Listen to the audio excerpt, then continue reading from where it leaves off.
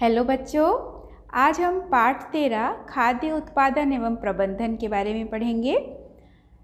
बच्चों, हमारे जीवन की बहुत सारी आवश्यकताएँ होती हैं। उसमें से आहार है, आवास है, आवरण है, यानी हम जहाँ भी रहते हैं, जो भी भोजन ग्रहण करते हैं, या हम जो भी पहनते हैं, ये सब कुछ हमारे जीवन की बहुत ही महत्वपूर्ण आवश्यकताएँ होती हैं।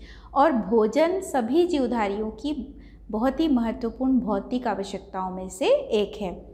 तो कृषि संबंधित जो भी कार्य होते हैं, कृषि करते हैं जो भी कृषक तो वो किस किस योजनाओं के तहत करते हैं, किस प्रकार की विधियों को अपनाते हैं किस प्रकार से ज़्यादा से ज़्यादा उत्पादन को बढ़ा सकें इस तरह के जो वो कार्य करते हैं तो इसी को हम कृषि प्रबंधन या फिर हम इसे कृषि विज्ञान के रूप में जानते हैं। तो इसकी परिभाषा क्या होगी कि मानव उपयोगी जो फ़सल हैं या पशुओं के अधिक मात्रा में उत्पादन एवं प्रबंधन के तकनीकी ज्ञान को, क्या कहते हैं, कृषि विज्ञान। यहाँ जो कृषि विज्ञान शब्द है, वह केवल फ़सल से संबंधित नहीं है। यहाँ पर कृषि विज्ञान पशुओं के अधिक मात्रा में उत्पादन से भी संबंधित है और उसको कैसे हम मैनेज करें, कैसे हम प्रबंधन करें, किस प्रकार की तकनीकों को अपनाएँ जिससे हम ज़्यादा से ज़्यादा उत्पादन ले सकें, इसे हम कहते हैं कृषि विज्ञान। तो मनुष्य सहित जो भी जीव जंतु होते हैं, वे अपना भोजन ग्रहण करने के लिए प्रत्यक्ष रूप से या परोक्ष रूप से पेड़ पौधों से ही जुड़े रहते हैं। पेड़ पौधों से ही वे प्राप्त करते हैं अपना भोजन। फ़सल क्या है? तो किसी निश्चित उद्देश्य के लिए किसी स्थान विशेष पर उगाए गए एक ही प्रकार के पौधों को फ़सल कहते हैं। जैसे अगर हम धान लगाते हैं तो धान लगाते हैं तो एक ही खेत पर हम पूरा धान लगाते हैं तो वो क्या होगा? धान की फ़सल हो गई। तो इसी को कहते हैं कि चूँकि हमें चावल प्राप्त करना है तो हमारा उद्देश्य क्या है? चावल प्राप्त करना। और चावल प्राप्त करने के लिए हम ऐसा नहीं करेंगे कि जो धान लगाते हैं वो एक खेत में लगाए, उसके बाद वह धान हम दूसरे खेत में लगा दिए और उसके साथ हम गेहूँ लगा दिए, ऐसा नहीं करते हैं एक खेत है तो एक निश्चित जगह का चुनाव करते हैं और उस चुनी हुई जगह पर हम निश्चित मात्रा में जितना हमें धान लगाना है वह लगाते हैं। तो एक निश्चित जगह पर, एक निश्चित उद्देश्य से एक ही प्रकार के पौधों को, एक ही प्रकार के पौधों को हम लगाते हैं, इसे हम फ़सल कहते हैं। विभिन्न प्रकार के जो फ़सलों को उगाना और उनसे उपज प्राप्त करना, ये कहलाता है कृषि। कृषि शब्द से हम बहुत अच्छे से परिचित हैं कि हम अलग अलग प्रकार के फ़सल को उगाते हैं। कोई कृषक धान उगाता है, कोई कृषक गेहूँ उगाता है तो इस कार्य को जो करते हैं वे कृषक हैं और जो यहाँ पर विभिन्न प्रकार के फ़सल को उगाते हैं। तो ये कौन कौन सी फ़सल होती हैं, उससे हम उपज प्राप्त करते हैं। तो ये पूरा जो मेथड है या पूरा जो प्रोसेस है, ये कहलाता है कृषि। कृषि से संबंधित जो व्यवसाय हैं या क्रियाकलाप हैं, उनमें कुक्कुट पालन भी है, पशुपालन भी है, मत्स्य पालन, मधुमक्खी पालन मशरूम का उत्पादन, ये सब भी कृषि में सम्मिलित किया गया है। तो मानव उपयोगी विभिन्न फ़सलों एवं जंतुओं के अधिक मात्रा में उत्पादन। यहाँ जो शब्द हमने देखा, जंतुओं के अधिक मात्रा में उत्पादन। तो देखिए आप, पशुपालन, कुक्कुट पालन, वैसे ही मधुमक्खी पालन, मशरूम उत्पादन, मत्स्य पालन, ये सब क्या है? जंतु से संबंधित है। इसी प्रकार हमने देखा कि एक ही प्रकार के फ़सलों को एक निश्चित उद्देश्य से एक निश्चित जगह पर लगाना, एक ही प्रकार के फ़सल या एक ही प्रकार के जितने भी पौधे हैं, उनको हम एक साथ उगाते हैं तो वो कृषि है। तो ये पूरा जो तंत्र है, जिसमें हम कृषि भी, कृषि शब्द का प्रयोग करते हैं, उसमें पौधे भी हैं और जंतु भी होते हैं। तो यह कृषि विज्ञान है। इन सब का जो सम्मिलित रूप है, इन सब का जो प्रबंधन है, इसका तकनीकी ज्ञान, यही कहलाता है कृषि विज्ञान।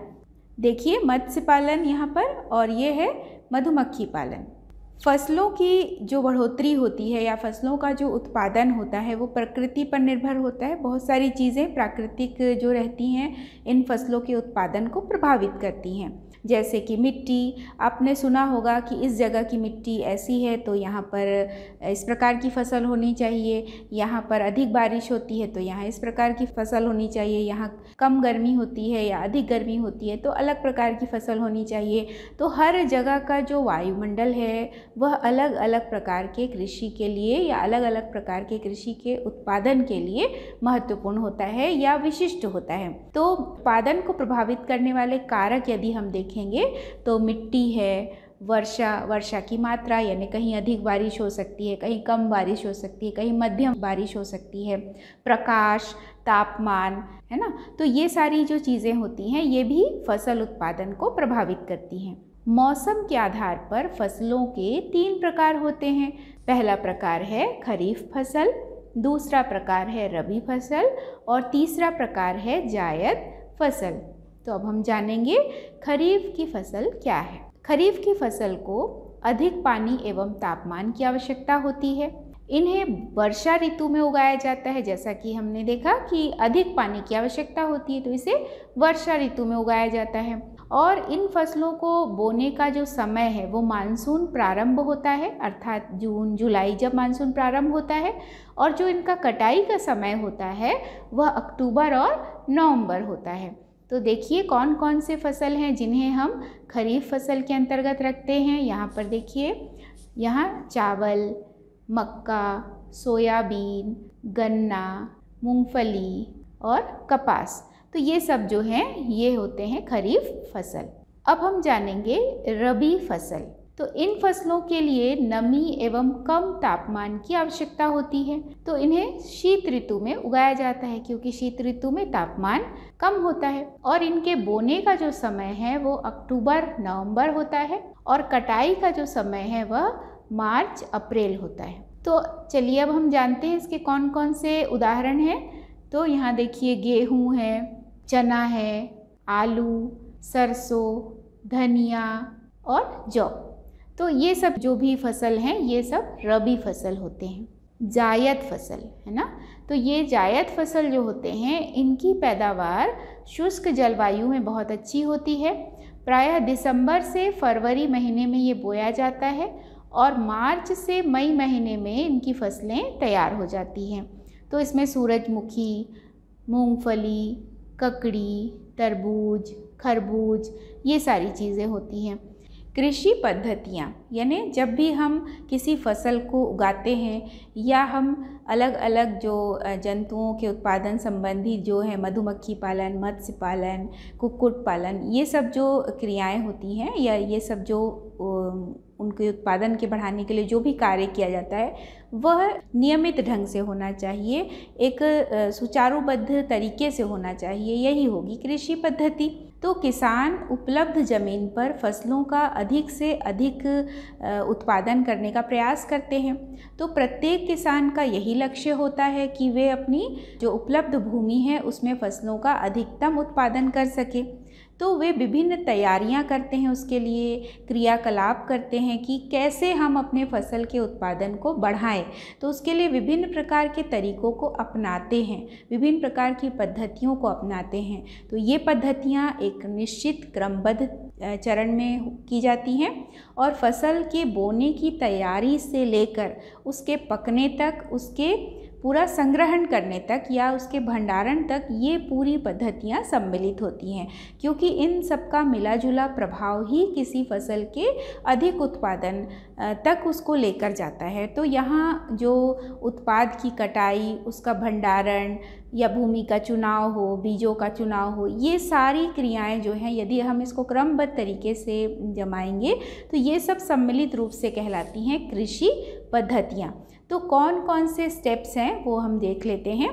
भूमि या मिट्टी की जो तैयारी की जाती है सबसे पहले, भूमि का चयन होगा, बीजों का चयन करना या बीज उपचार करना, बीज में यदि कुछ और उन्नत तरीके से उसको लाना है प्रयोग में तो उसका उपचार किया जाता है। तो बीजोपचार करना, खाद देना, सिंचाई करना, निंदाई करना, खरपतवार का नियंत्रण करना है ना? फ़सल की कटाई करना, भंडारण करना, ये सारी चीज़ें जो हैं सम्मिलित होती हैं कृषि पद्धतियों में। सबसे पहला हम देखेंगे भूमि की तैयारी। जब भी किसान एक चयनित भूमि को लेते हैं, जहाँ उन्हें एक ही प्रकार के पौधे को उगाना होता है, फ़सल लगानी होती है तो सबसे पहले वो अपनी भूमि की तैयारी करते हैं। तो किसान अपने फ़सल के भरपूर उत्पादन के लिए, यानी अधिक से अधिक उत्पादन के लिए एक ऐसी उपयुक्त भूमि का वे चयन करते हैं जहाँ पर बीज अच्छी तरह से, आसानी से अंकुरित हो जाए, वृद्धि हो सके उसमें और उस मिट्टी में आवश्यक पोषक तत्व उपलब्ध हों, वहाँ पे पानी और वायु सुविधाजनक ढंग से प्राप्त हो सके। तो इन सब तैयारियों को हम कहेंगे भूमि की तैयारी। भूमि अथवा मिट्टी की तैयारी। तो भूमि की तैयारी के पहले चरण में खेत की जुताई की जाती है। इसके लिए पारंपरिक हल का भी प्रयोग करते हैं, या फिर मिट्टी पलट हल का भी प्रयोग किया जाता है, जो देसी हल मिट्टी को चीर देते हैं और मिट्टी पलट हल जो है वो मिट्टी को चीरने के साथ साथ पलट भी देते हैं। तो आप यहाँ पर देखिए, जो अलग प्रकार के दो प्रकार के यहाँ पे हल आपको दिखाई दे रहे हैं तो एक जो हल है वो है देसी हल और एक जो है वो मिट्टी पलट हल है। धान की खेती के पश्चात रबी फ़सल के लिए भी खेत काफ़ी कठोर हो जाता है। अब उसको तैयारी करने के लिए पारंपरिक हल जो है वो पर्याप्त नहीं होता है। तो ऐसी स्थिति में ट्रैक्टर, पावर ट्रिलर चलित या कल्टीवेटर, रोटावेयर या हैरो, इनका उपयोग किया जाता है, जिससे जो कड़ी मिट्टी है, उसको थोड़ा सा रबी फ़सल के उपयुक्त बनाया जा सके। तो यहाँ देखिए, ये चित्र है हैरो और रोटावेयर का। तो जुताई करने से क्या लाभ होते हैं? जब भी कृषक अपनी भूमि की तैयारी करते हैं तो उसका पहला जो पद है, वो जुताई करना होता है। तो उसका सबसे जो मुख्य मुख्य जो लाभ हैं, वो हम देख लेंगे कि इससे मिट्टी भुरभुरी हो जाती है, जिससे वहाँ वायु संचार अच्छा होने लगता है, उसकी जल धारण क्षमता बढ़ जाती है, और उस किसी भी पौधे की जड़ बहुत आसानी से वृद्धि करने लगती है। दूसरा है मिट्टी की घास फूस या जो काटी गई फ़सल होती है, उसके अवशेष जब मिट्टी में मिल जाते हैं तो ये खाद बन जाते हैं। तो जब जुताई की जाती है तो अलट पलट होती है मिट्टी में तो जो भी यहाँ पे अवशेष मात्र बचे होते हैं मिट्टी में मिलते जाते हैं और यही फिर खाद का रूप ले लेते हैं। रोग उत्पन्न करने वाले जो कीड़े हैं, इल्लियाँ हैं, ये अंडे हैं, जो भी, ये सब जैसे ही जुताई की जाती है तो ये बाहर आ जाते हैं। और धूप के असर से वे फिर नष्ट हो जाते हैं। तो इनसे लगाए जाने वाले फ़सल को खतरा भी होता है। तो जब जुताई की जाती है तो इस प्रकार के जो कीड़े हैं, इल्लियाँ हैं, वे धूप के प्रभाव में खत्म हो सकते हैं, जिससे फ़सल को किसी भी प्रकार का नुकसान नहीं होता है। कुछ जो कृषि मित्र माने जाते हैं, कृमि है, केंचुआ है, जीवाणु है, फफूंद है तो इसकी वृद्धि में मदद मिलती है, जिससे भूमि की जो उपजाऊ क्षमता है, वो बढ़ जाती है। जुताई के पहले खेत में डाले गए जो खाद हैं, उर्वरक हैं, समान रूप से उसका फैलाव हो जाता है। जिससे कि जुताई करने पर जब छिड़काव किया जाता है तो वो एक ही स्थान पर नहीं रहता, बल्कि पूरे खेत तक वह खाद या उर्वरक जो भी छिड़काव किया जाता है, वो पूरे खेत तक बहुत अच्छे से फैल सकता है। जुताई से खेत में मिट्टी के बड़े बड़े ढेले भी निकल आते हैं और बीज बोने और सिंचाई के लिए इन ढेलों को तोड़कर समतल करना बहुत आवश्यक होता है, क्योंकि अगर मिट्टी के अंदर बड़े बड़े ढेले हैं तो फिर जड़ पूरी मिट्टी तक ठीक तरीके से नहीं बैठ पाती है। तो यहाँ पर जो जुताई के बाद बड़े बड़े ढेले निकल कर आते हैं तो उसको फिर समतल करना आसान हो जाता है और ये कार्य बहुत ज़रूरी होता है। और इस कार्य को करने के लिए, यानी ढेलों को मिट्टी के रूप में परिवर्तित करने के लिए यहाँ पर हम प्रयोग करते हैं लकड़ी का पटला या सुहागा का प्रयोग किया जाता है। बीजों का चयन और बीजोपचार।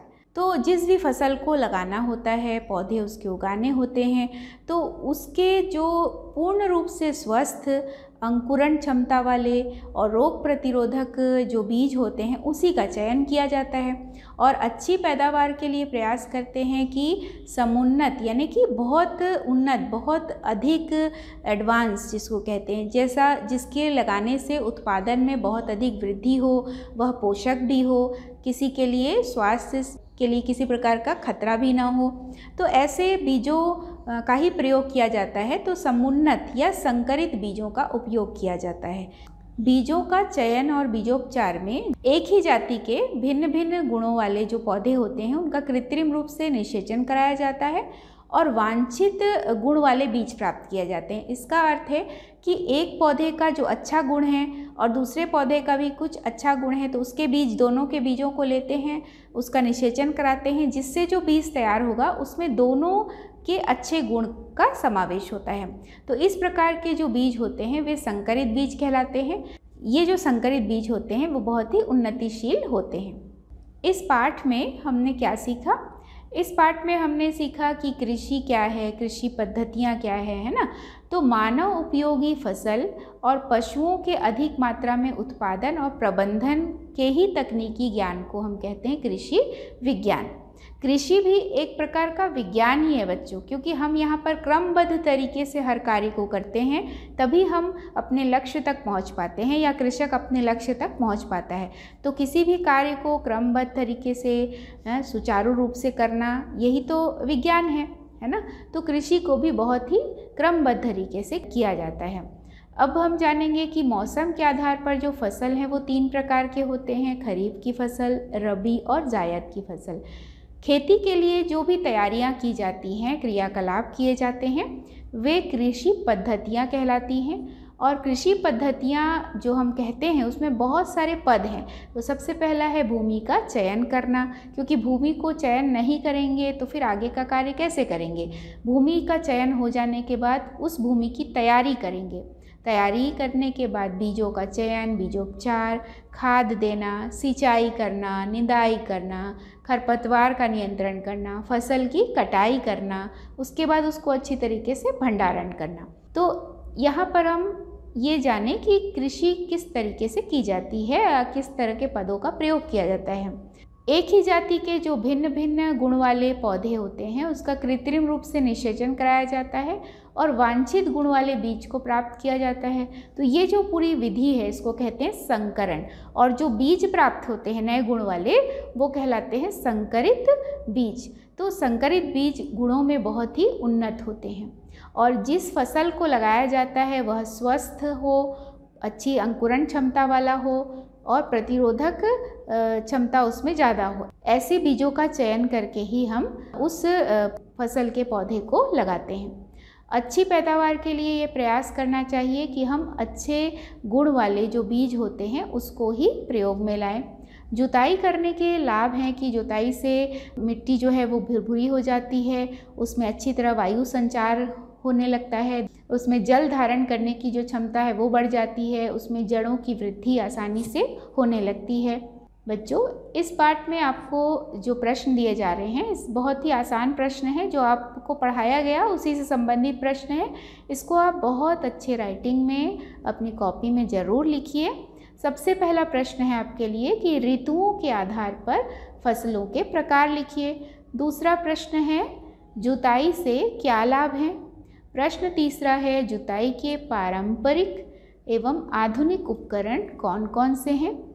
कृषि विज्ञान से आप क्या समझते हैं? अगला प्रश्न है, संकरण से आप क्या समझते हैं? बीजों का चयन और बीजोपचार से आप क्या समझते हैं?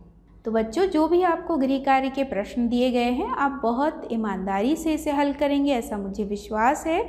और आप सभी बहुत अच्छे तरीके से इस पाठ को समझेंगे, क्योंकि हमारी जो आवश्यकताएँ हैं दैनिक जीवन की, वह इस पाठ से संबंधित है। तो हमें अपनी आवश्यकताओं के बारे में तो हम जानते हैं, लेकिन ये आवश्यकता कैसे पूरी होती है, कहाँ से आती है, कौन इसके पीछे मेहनत करते हैं, या किस तरह से हम भी उनके साथ प्रत्यक्ष, अप्रत्यक्ष रूप से जुड़े होते हैं, इन्हीं सब बातों के बारे में इस पाठ में हम पढ़ेंगे। तो अगले अध्याय में हम जो अगले बिंदु हैं कि कृषि पद्धतियों के अलग अलग जो बिंदु हमने पढ़े अलग अलग पद पढ़े तो उसके आगे हम अगले अध्याय में पढ़ेंगे। तब तक आप पढ़ते रहिए बच्चों और खुश रहिए।